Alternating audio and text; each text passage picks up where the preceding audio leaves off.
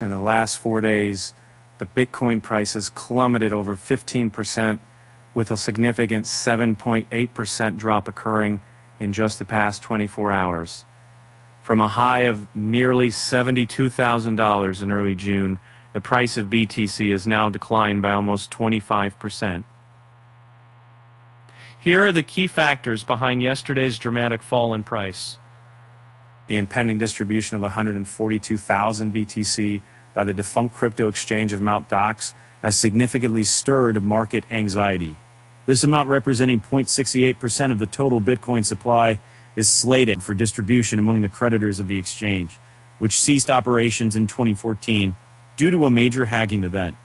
A distribution process has already seen large transfers, with 52,633 BTC moved in recent hours, suggesting that preparations are underway for a large-scale disbursement.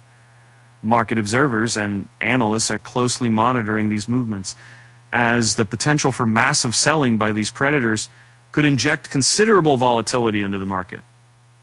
Uh, the psychological impact of this uh, distribution has presumably led to uh, preemptive selling uh, among Bitcoin holders, further amplifying market jitters.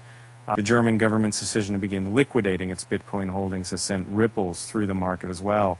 And with transactions recorded on major exchanges such as Bitstamp, Coinbase, and Kraken this season, over a fortnight, the government reduced its holding from 50,000 BTC to 42,274 BTC. Market participants are understandably nervous that a continuous sell-off by a major holder like government could lead to downward price pressure.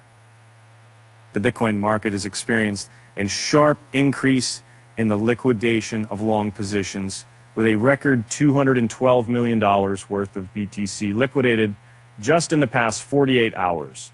This liquidation is the most significant since April 13, when $261 million worth of BTC longs were liquidated, leading to a steep decline in Bitcoin's price from $68,500 to investigate medical investigation. For now, Eyewitness joins us. Such liquidations often trigger a chain reaction, leading to forced sell-offs and further price declines. These liquidations are indicative of a highly leveraged market where investors might be overextended, contributing to heightened market volatility uh, post the Bitcoin halving event on April 20th, 2024. The mining reward was halved from 625 to 3.125 BTC, escalating economic pressures on miners. This reward reduction was anticipated to increase Bitcoin's price. But the increase did not materialize, leaving miners with diminishing returns. The current capitulation among miners is akin to previous market bottoms, such as the one seen following the FTX collapse, researchers from CryptoQuant recently revealed. Indicators of miner distress, including a significant 7.7% drop in hash rate and a plummet in mining revenue per hash to near all-time lows, means that many miners were forced to turn off their equipment and sell the BTC stash.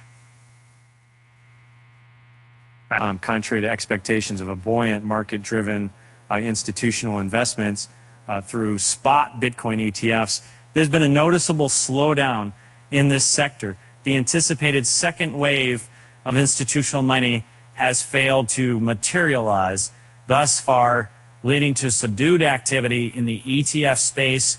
Instead, the spot ETFs are currently experiencing a summer low. The enthusiasm surrounding Bitcoin ETFs has been unable to counteract the overwhelmingly negative market sentiment. However, its direct impact remains relatively minor.